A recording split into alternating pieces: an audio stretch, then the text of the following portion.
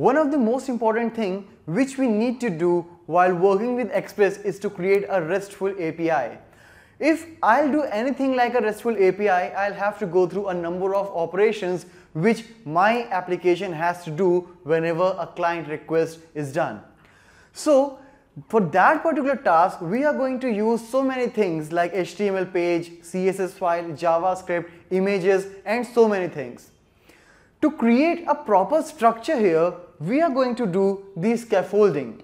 Like here, whenever I'll talk about scaffolding, it's something like creating a skeleton for your web applications where you can put a specific element at a directory.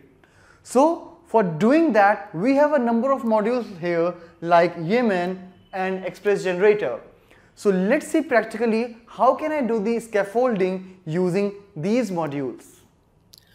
Now to start the scaffolding using the Express Generator module, first of all we'll have to install the Express Generator. As maybe in every second application I would require a Express scaffolding so I can also install this Express uh, Generator globally. To install it globally, I don't need to go to a particular path. I can install it from anywhere like npm install express hyphen generator and then hyphen g.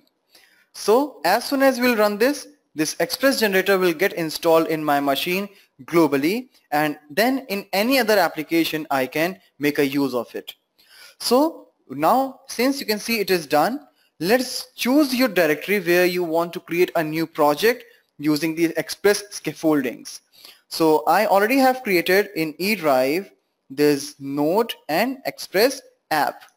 So right here inside I will create my uh, this new project alright and to launch that scaffolding what you can do is you can run the express command. As you can see right now this particular directory is blank and there is nothing inside so far. So let me ex execute the express command here and as soon as I'll done this now you can check like this is all created. These all files and folders have been created. Alright so let's go physically to check that. And here in this node express app you can find all these directories and files have been created. So every file has a every folder has a different content inside. If I'll go to the bin you'll find a file called triple w. This file will be used now as the starter file. In the public, you will have three folders like images, JavaScript, style sheets. Whichever you want to put in a, as a public thing, you can define them all here. Alright, you can put all the images, JS files and style sheets which you want to use throughout your application. Routes will help us to provide the routing thing. Alright, for example, we have already seen in the express introduction, like we can make a different type of get requests.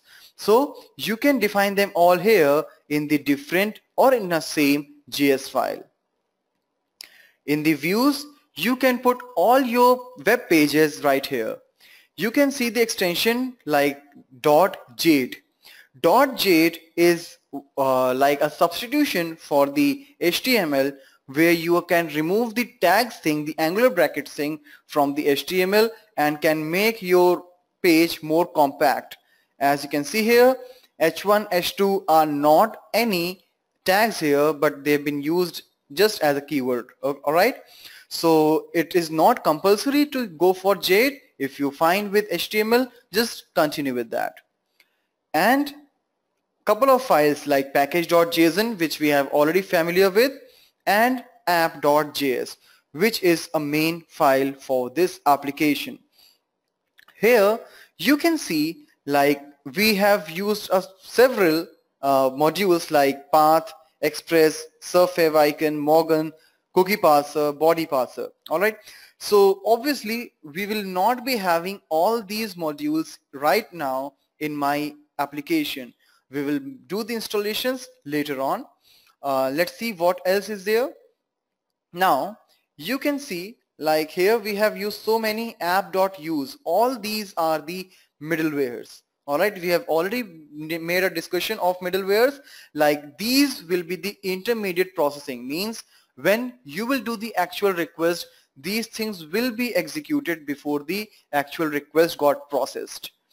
Then after that there are some different handlers for the development environment for production environment alright and then later you can export this one as a module called app alright now uh, let's come to the bin where you will find a triple W file which will be as a startup. And you can see that here we have used that app which we just exported in the app.js. Apart from that we also have the HTTP module to start it as a server. By default now it will take 3000 as the port number. If you want to change you can change it. Alright and uh, here uh, you will find like so much error handling and the event listening thing is being done alright so whenever we'll start it now here we will uh, make a request for this triple W as this one is the startup for my application here whatever code you have done in the app it's being here and then using this HTTP we can create a server right here all right? So this is the line which will start up your server so we'll come here whenever we want to start something all right? So uh, all the scaffolding is done all the required directories have been created and now you can obviously make some uh, more folders all right? More directories more files as per your requirement. But the basic structure is now done right here. All right? So see let's uh, let's see how we can make the execution of this particular file. So right here you can do npm start and as soon as you will say start it will show you some errors. Why these errors are coming? Because uh, yep because so many modules have not been installed yet alright but how will you come to know that which all modules are yet to be installed? For that information, we will come to package.json file. Alright, and here you can see like dependencies, here all the dependencies have been uh, specified like body parser, cookie parser, which you have used inside the app.js file. And here itself, you can see there is a startup thing where start is a command. And whenever you will call this start command npm start internally it will execute node triple w file. Alright so this is what making triple w as a startup thing. Alright so firstly let's install all the dependencies before getting continued with the execution. So uh, since all the uh, module name has been specified inside the package.json we don't need to install each and every module separately.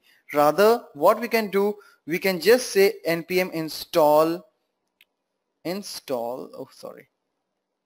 Okay? And whichever installation you will do already the they are uh, saved inside the package.json so this hyphen save is not required now. Alright? Simply execute this npm install.